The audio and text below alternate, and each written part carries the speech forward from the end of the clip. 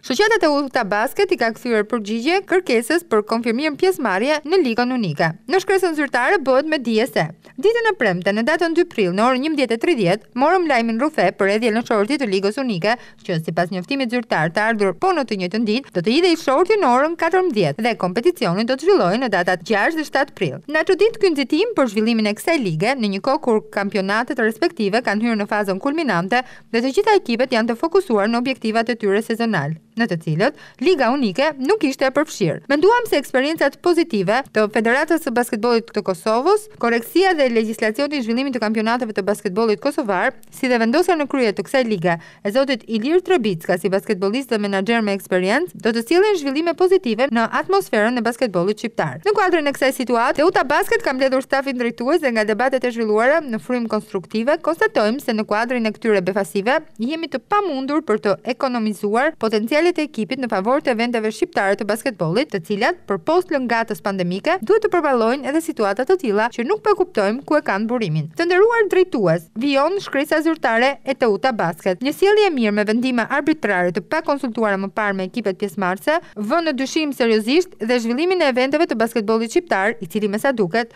të gjitha mangësitë e veta për të cilat Avni Ponari pranoi si gabime dhe u angazhua t'i korrigjojë, po eksportohen edhe te basketbolli kosovar që ka pranuar, jashtë tradicionit të vet, të bëhen njoftime urgjente Të hidhen shorte që për hir të së vërtetës janë të dyshimta, si dhe gjysmëfinalet dhe finalet e një aktiviteti mbarëkombëtar, mos të zhvillohen në Pallatin e Sportit Feti Borova. Nisur nga këto arsyetime dhe situata e krijuar, shoqata Teuta Basket nuk e konfirmon pjesëmarrjen në Ligën Unike. Shpresojmë që kjo përgjigje të shërbejë si një reflektim për zyrtarët e ligës dhe Federatën Shqiptare të Basketbollit që të jenë më seriozë në organizimin e të tilla eventeve. Është detyrë e këtyre institucioneve për të respektuar kontributin e ekipeve pjesëmarrëse, si dhe të mos marrin vendime pa u konsultuar me të gjithë aktorët që janë promotorë të zhvillimit të basketbollit në Shqipëri dhe Kosovë, përfundon përgjigja e Teuta Basket, drejtuar Ligës Unike, Federatës Shqiptare të Basketbollit dhe Federatës së Basketbollit Kosovar.